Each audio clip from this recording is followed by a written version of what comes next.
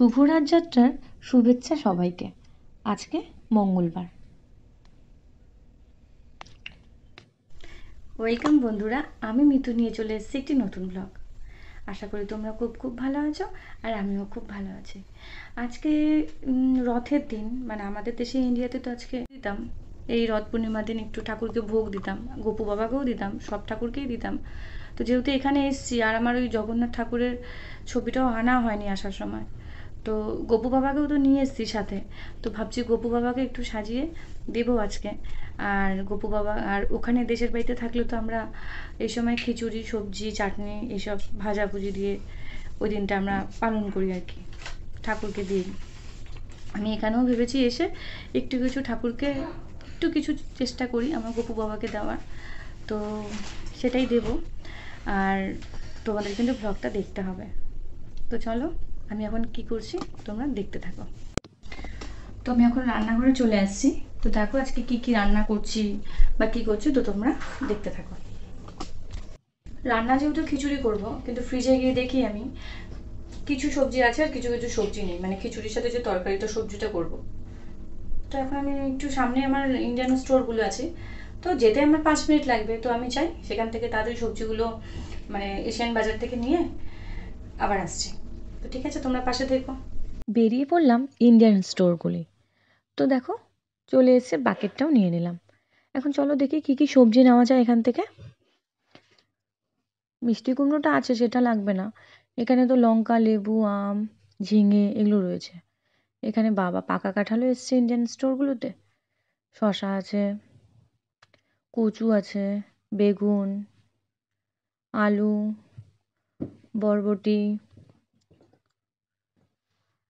তো যাই হোক, আমার আবার এদিকে মুগ ডালটাও নেই খিচুড়ি করার জন্য। তো যাই হোক, সেটাও আমি এক প্যাকেট এখন নিয়ে নেব।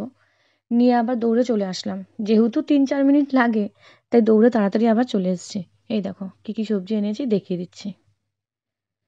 তারপরে কি করলাম? সবজিগুলোকে ভালো করে কেটে নিলাম, যেটা আমি লাবড়া সবজি করব খিচুড়ির সাথে। আর বাঁধাকপিও কেটে নিয়েছি, এই দেখো, পাঁচ মেশানো সবজিটাও কেটে নিয়েছি। আর এই সাদা বাঁধাকপিটাও কেটে নিয়েছি। খেতে কিন্তু টেস্টি খুব। আর ফোড়নের জন্য খিচুড়িতে আর সবজিতে লাগবে, সেগুলো করে কেটে নিয়েছি। মিষ্টি কুমড়োটা এখানে বড়া করব। অনেক দিনই বড়া করা হয় না, ব্যাটার গুলিয়ে রেখে দিয়েছি। আর আতপ চালটা তিনশো গ্রামের মতো আমি এখানে ভালো করে ধুয়ে ভিজিয়ে রেখেছি। তো তোমাদেরকে দেখিয়ে দিলাম। আর কাজু কিশমিশটা জলে ভিজিয়ে রেখেছি। এটা আমি খিচুড়ির মধ্যে দেবো, সেজন্য। তো যাই হোক, এখন রান্নাটা শুরু করা যাক।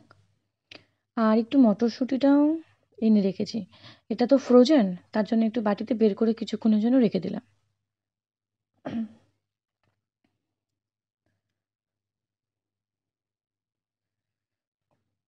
বাটিতে বের করে রেখে দিলে এটা ঠিক হয়ে যাবে। এখন চলে যাই কড়াই তেল দিই আর একটু ফোড়ন দিয়ে সবজিটা বসিয়ে দিই।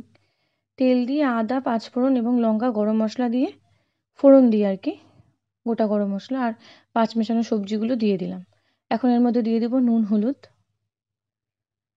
আর নামানোর আগে একটু ঘি গরম মশলা দিয়ে নামিয়ে নেব।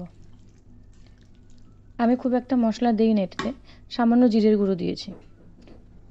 তো যাই হোক, আমার সবজিটা কমপ্লিট হয়ে গেছে। এখন আসি খিচুড়ির জন্য ডাল। তো যতটা চাল নিয়েছিলাম, সেই সম পরিমাণ আমি ডাল নিয়ে নিয়েছি, মুগ ডাল। ভেজে নিয়ে তারপরে ফোড়ন দিয়ে চাল ডালটা, নুন মিষ্টি দিয়ে হলুদ দিয়ে এটাকে ভালো করে ভেজে নিচ্ছি। ভেজে নিয়ে এর মধ্যে পরিমাণ মতো জল দিয়ে খিচুড়িটা নামিয়ে নেব। সেটা আর দেখালাম না। তো চলো এখন ঠাকুরকে একটু সাজিয়ে দিই, আমার গপু বাবাকে।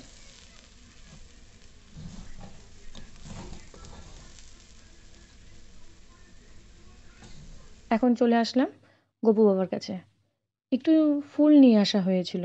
হাজব্যান্ডকে বলেছিলাম একটু ফুল এনে দিতে। তো আগের দিনে ফুল এনে রেখে দিয়েছি। সেই ফুলগুলো দিয়ে একটু কোনো মতো সাজিয়ে দিয়েছি। দেখো, আমার তো ভালোই লাগছে।